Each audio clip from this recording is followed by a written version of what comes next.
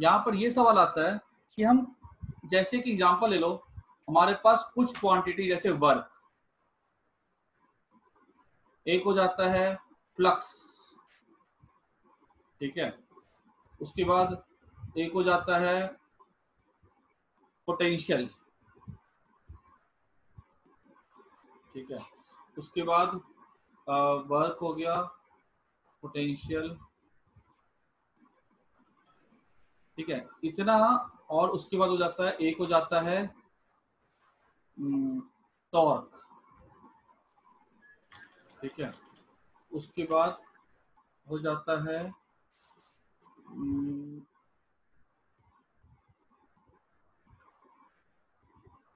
बस इतने बेसिकली मुश्किल से बताओ तीन क्वांटिटी है, ठीक है? एक ये वाला है, ठीक है? और क्या कहते हैं एक हो जाएगा वेलोसिटी ठीक है? उसको ओमेगा इंटू आर से मल्टीप्लाई करके निकालते हैं। ये वाला है स्केलर और ये वाला है वेक्टर ठीक है?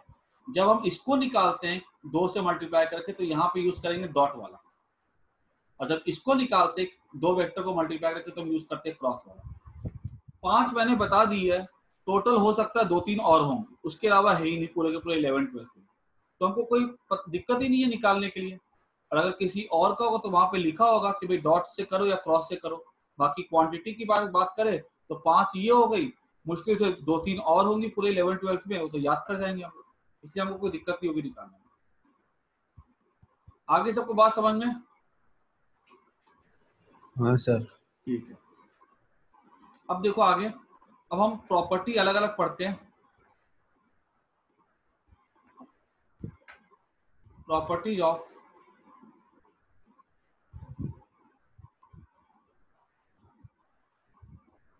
डॉट प्रोडक्ट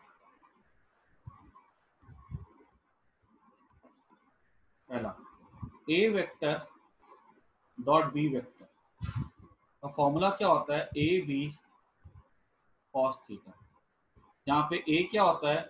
ए का मैग्नीट्यूड और बी क्या होता है? बी के यहाँ पे बी का मैग्नीट्यूड ठीक है? इसको मैं ऐसा भी लिख सकता हूँ प्रॉपरली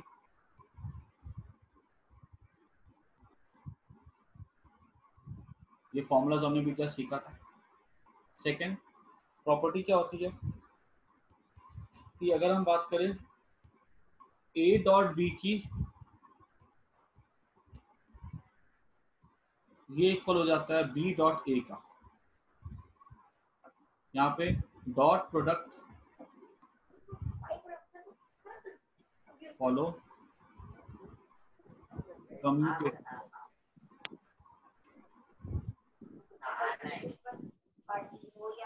proof कैसे देख सकते हैं?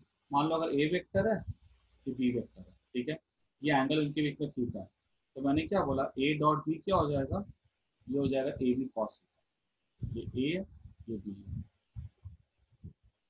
ठीक है? अगर मैंने बी डॉट ए निकाला ए डॉट बी में हम कैसे जाते ए से बी जाते बी डॉट ए निकालेंगे तो ये क्या हो जाएगा? बी ए हम अब बी से ए में जाएँगे। बी से में ऐसे गए ना तो क्या हो जाएगा? बी इंटू ए अब एंगल कितना हो जाएगा इसके बीच में? कॉस 360 माइनस थीटा और याद करो कॉस 360 माइनस थीटा किसमें लाई करता था? ये लाई करता था थर्ड क्वाड्रेंट में। ठीक है? तो फोर्थ क्वाड्रेंट में लाई करता था ठीक है? अगर थीटा ऐसे था तो 360 माइनस थीटा क्या हो जाएगा? ये इतना हो जाएगा पूरा का पूरा 360 माइनस थीटा ये लाई करता है फोर्थ में। और फोर्थ में कॉस पॉजिटिव होता है। तो B A cos theta this is equals to AB cos theta. Therefore, A dot B equals to B dot A.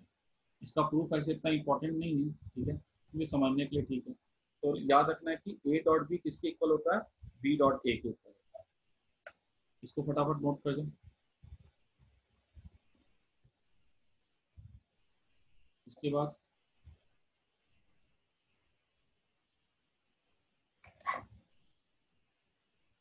होगा नेक्स्ट प्रॉपर्टी देखो। थर्ड अगर ए डॉट बी की बात करें अगर, ठीक है, ये हो जाता है ए बी ये हो जाएगा ज़ीरो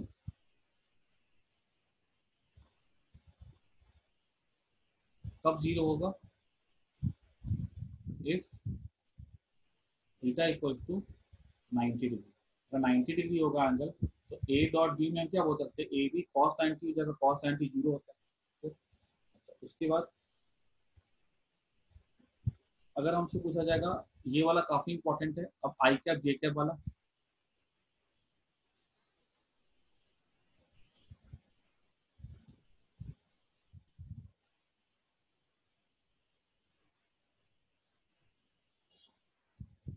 तो अगर ऐसा बोला जाए कि हमको निकालना है I cap dot I cap तो ये इसकी वैल्यू वन होती है, इसकी वैल्यू भी वन होती है। डॉट मतलब क्या कि कॉस आ गए तो वन इंटू वन और ये वाला इसके पैरेलल ही होगा ना बिकॉज़ सेम वेक्टर है। तो into cos zero degree cos zero कितना वन हो जाता है तो वन हो जाएगा। In the same J dot J K dot K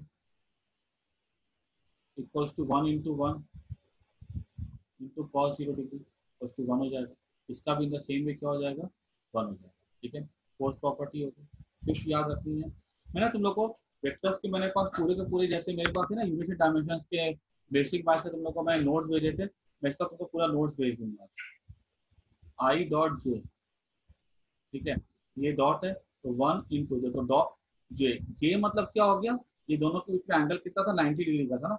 ये क्या थे? ऑर्थोगोनल यूनिट वेक्टर्स ये ऐसा था अगर? कि आई जे के ये 90 डिग्री था ना सब कुछ one into one into cos ninety cos ninety कितना होता है? ज़ीरो होता है। In the same way J dot K ये भी ज़ीरो हो जाएगा। In the same way I dot J भी क्या आई डॉट के भी क्या हो जाएगा? ज़ीरो हो जाएगा। ठीक है? ये फटाफट नोट कर दो। आई डॉट जे ज़ीरो होता है जे डॉट के ज़ीरो होता है आई डॉट के भी ज़ीरो होता है। इसको फटाफट नोट कर दो।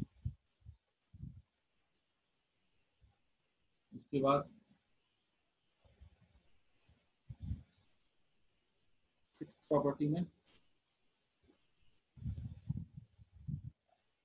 इन इसी से हम ऐसे कंक्लूड कर सकते हैं मान लो ए डॉट ए तो क्या हो जाएगा ये?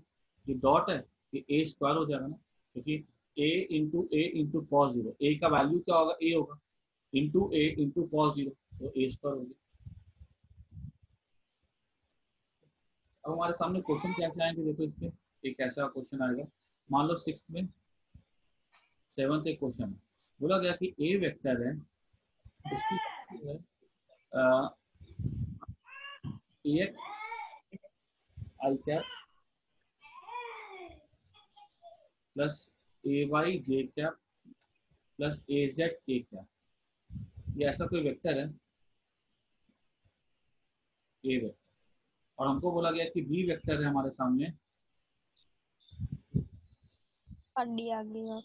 ये इतना नोट कर दो फिर मैं इसको भी ने, अब नेक्स्ट क्लास में चालू करूँगा। मतलब अब इसको जैसे डिस्कनेक्ट होगा ना वैसे ज्वाइन कर लेना ठीक है सब टाइम बहुत